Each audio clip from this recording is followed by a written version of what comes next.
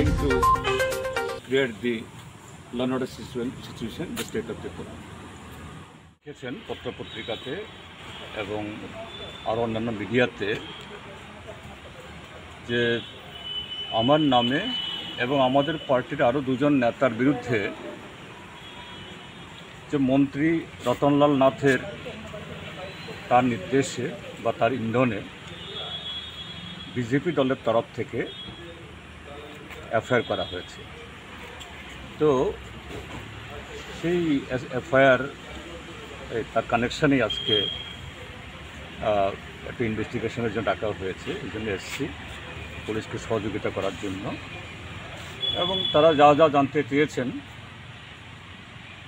তা বলেছি যে আমার এই ফেসবুক পোস্ট কী উদ্দেশ্য ছিল, তার কী বক্তব্য ছিল, এটাই Sir, do you feel cases were filed just to harass the CPM leaders? Yes, yes, definitely.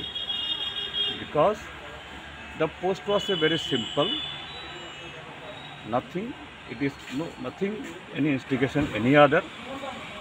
It is just a reaction of the recent trend in the Facebook that in our state of Tripura, even a senior most minister, Narendra Chandra Burma, publicly publicly he is committing that there is no existence of law and order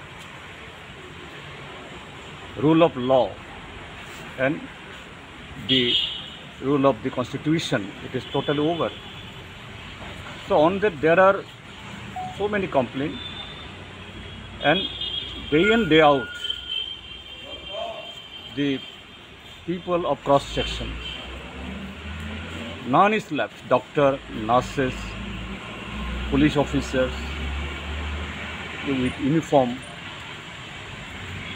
media person, everybody attacked. So that trend of the shesh, shesh, shesh means democracy shesh, khatam.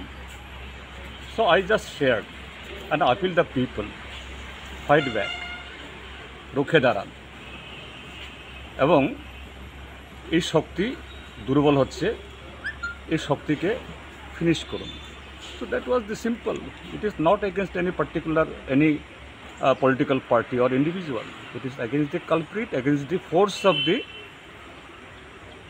that is anti uh, social against the force who are committing crime against the constitution so that was nothing but very unfortunately one senior minister that minister they're supposed to protect